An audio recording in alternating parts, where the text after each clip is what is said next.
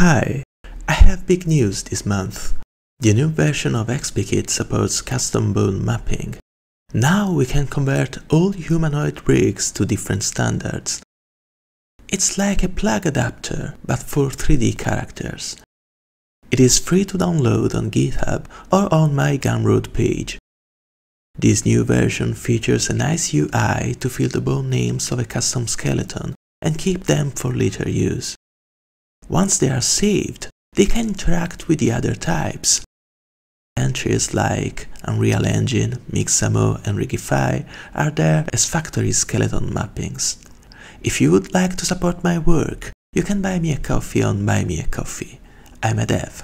Coffee is never wasted on me. So let's get into action and see how to set up our characters. We can still switch between Rigify, Mixamo, Unreal and a few others in the same way as before. But let's try a non-standard character. Here is an old dude of which I am very fond.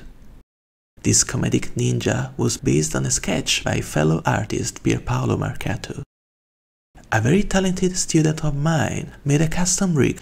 It is simple but very well done, with forward and inverse kinematic chains and a few additions like controls for hand gestures. I will use Expy Kit to upload this character to Mixamo, grab some animations and use them with these controls. Things don't always go smoothly on custom rigs. I will have to work around a few issues. Let's download Expy Kit and install it in Blender. A tab will appear in the viewport properties. If the properties panel is hidden, we can press N to show it up.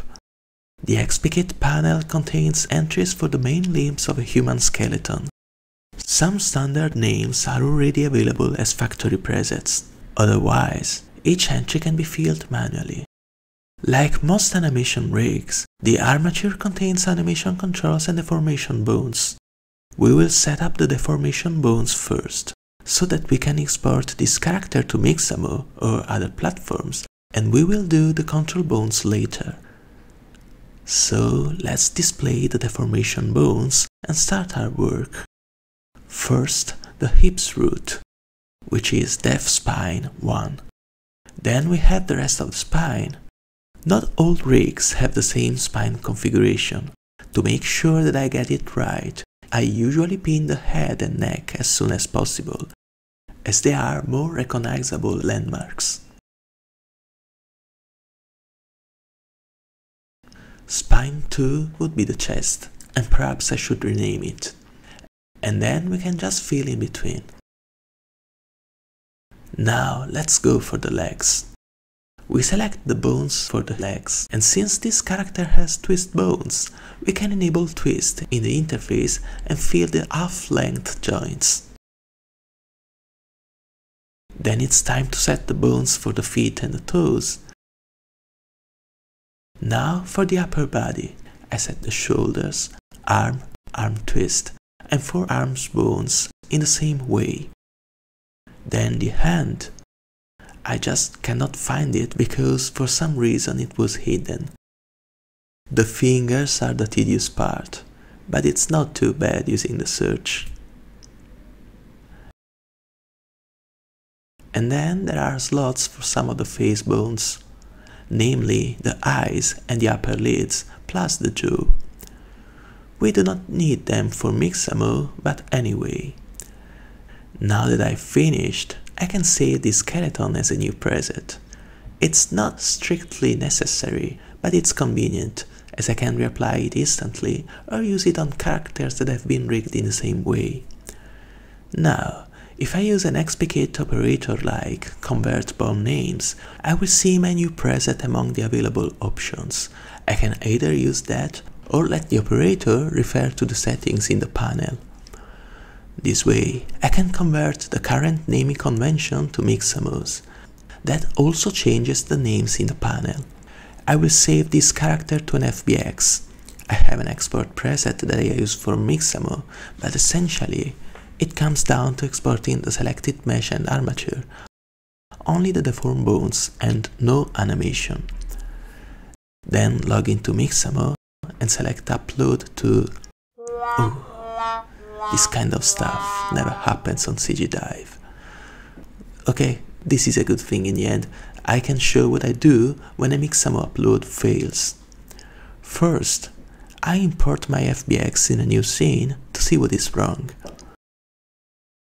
I can see already a few bones that don't belong here.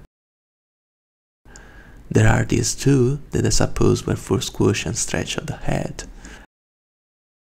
Then a few control bones had their deform switch on. Mixamo doesn't like that many materials. Let's export and upload the character again.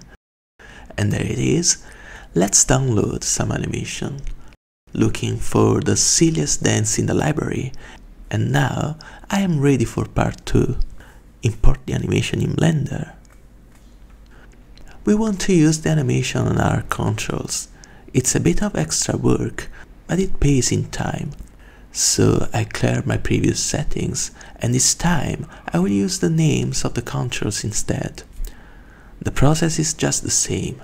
Here I am not sure of this control, the reverse hips. Then for the legs, I am going to use the FK controls. This time we have a root bone and I can use the preset for the deform bones in the deformation slot. This way, Expy Kit has some more information about how this rig affects the character. And now the inverse kinematics controls. I activate IK in the panel's top bar and proceed. We don't really need arm IK and up leg IK, as inverse kinematics serves exactly to avoid animating them. I have to be honest on this. I don't really remember why I included those two slots. I might remove them in the future. Fingers again. At least there's only four for each hand. Now that Expy Kit knows these controls, I can bind them to an animated armature. I will have to use download with skin on custom rigs. Since Expy Kit already knows the source character, I only have to specify the rig type for the bind target, in this case, Mixamo. There it goes. Not perfect, but close enough. There is a long road ahead, but this flexibility is required for moving to the next steps. Anyway, I have a lot going on in terms of tools, assets and techniques to share, so thanks for watching this and see you soon.